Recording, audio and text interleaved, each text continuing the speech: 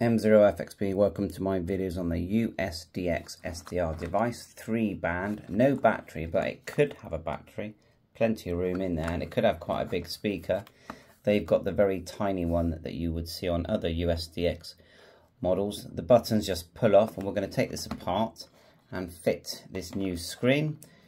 Pull off the buttons, like so, and then you've got the Allen keys either side, so we'll just take them off now. It does dismantle very easily and I'll show you where you can program firmware on this. So that's the, the bolts off on this side. Note there's a PTT just here. And then you've got the the mic PTT and it also says dash dit dit.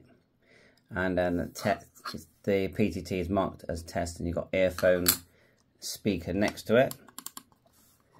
So once you get to this point, it will just lift out like so okay? Which is quite handy I think. So it's quite easy to dismantle. There's no bolt holding the BNC in.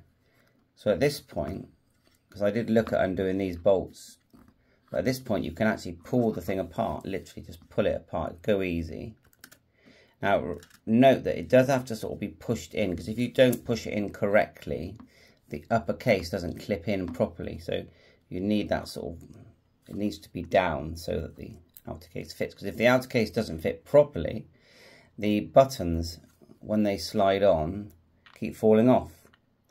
Uh, I've noticed though with the, if you look there, with the volume one, it's a bit short, to be honest. So I'm thinking I might just cut, cut the some of the end off to shorten it and then then it'll be fine. It's a bit short and obviously these buttons need to protrude as well Men mode and menu. And they do as long as you push that board in like I said. So you just put it like so. The speaker um, just keep going there. It does just pull out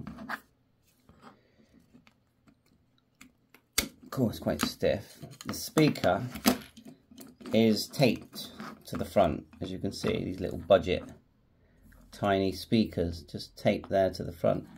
And But if you look at the case, the back case, you've easily got room in there to add a battery and another speaker. So I don't know why they haven't done that. Because uh, that would, because I think the actual design of the unit is has got good potential, but it's it's just paying attention to finer details uh, is the problem. Now, firmware wise, I might have a go at this. Um, you would connect to these pins here. There's no pins there, but solder, solder or just poke in some GPIO pins there. In these, you know, you see them there marked. Just here, if we zoom in, you'll see them marked there. So these you would use your programmer with. I use a Arduino Uno. Like this, I've already got the pins there ready. You can see them marked from 10 to ground and then once I've got my pins added here okay just here and then I can connect and, and firmware now it gets when it turns on it comes on with 102WA so I will look that up now I'm, I do want to put on the firmware by GW8RDI but I don't know if his firmware will allow for the the volume control, but that is a hardware volume increase, so it might not matter. But anyway, it's coming up with 102WA. I will look that up, but otherwise, we're going to undo these four screws here. And there are some spacers there as well. We just whip that off. Let, Have a good look. It's uh, interesting design. I have I have sort of done some tests on it, listening to the audio, and it actually went up to about 9 watts. See all the the way they've done this. So, hmm, it's an interesting device. I'm not saying I recommend it or not, but it even says here LCD 1602, which is what my one says. Although we do have an A, so let's see. The, the, the short screws are out the bolts look like they can stay in place. And we'll pull it out. On other devices, underneath here you have the the pins for doing the firmware. But like I said, it's just here instead. Shame it broke. I wonder if it's even fixable. You've got that leak of LCD. Is that even fixable? I won't throw it away. So we need to find eventually it's going to go back in place. Just need to find um okay got some uh, pins here ready soldering iron on the go Okay. Soldered. I am no good at soldering. You just dive in. So anyway, there's the board. Let's put it back on the board and just turn it on and see if we even get a screen.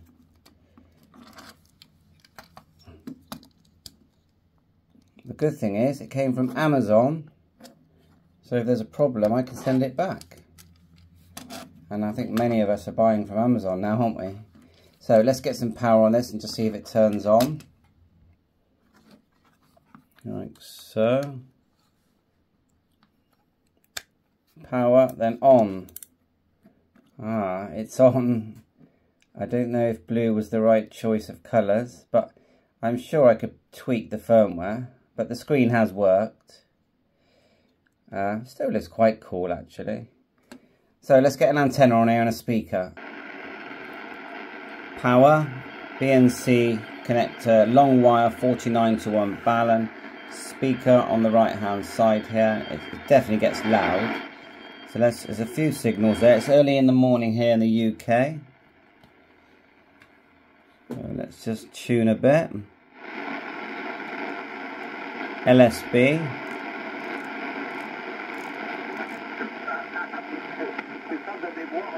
Someone there. There's your menu. Actually, no, it's your mode.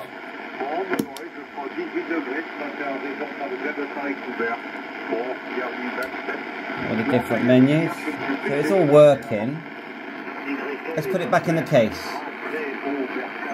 Okay, all assembled. Blue screen looks nice. I've cut the volume button shorter. I took about two millimeters off the bottom and now it doesn't just fall off.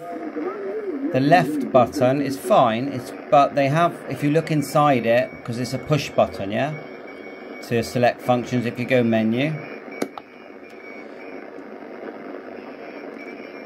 You compress it, okay? And turn. Come out of menu, and if you want to go along the frequency, look.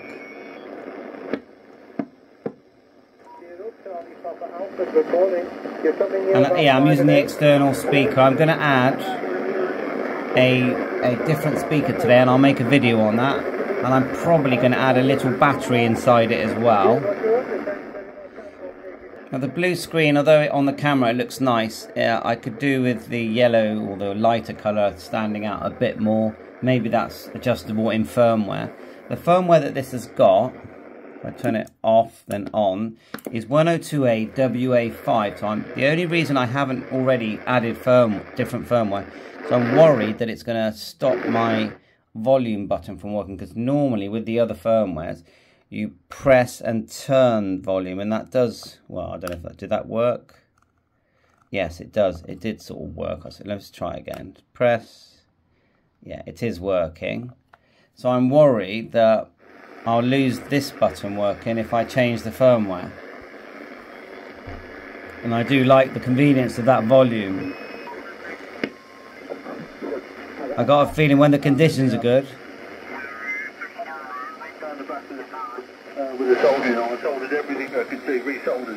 It's going to be quite good later. The uh, if I press menu, go to the noise reduction. I am having fun with this. I have asked them for a partial refund, well they've given it me already. Because obviously the screen had that LCD leak. The buttons were falling off. When I first tinkered with it, I thought this is a complete loss. But after a bit of perseverance, I've realised it's quite a nice, neat little unit. Um, um, and the price is, is okay, I would say. Um, but obviously I haven't had any contacts yet. Tested the audio, seems I used the word okay. So just looking for noise reduction. The external mic I think was rubbish, but the CW key worked fine. So there's um, noise reduction, 1.9 menu, press, on a 2, and then menu out. I think it did actually sound better. Let's find someone. You're pressing along like that to move the cursor along. We'll find someone.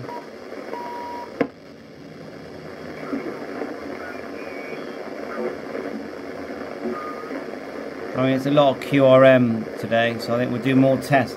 But overall, the screen's working, the whole thing's working again now. Bye for now.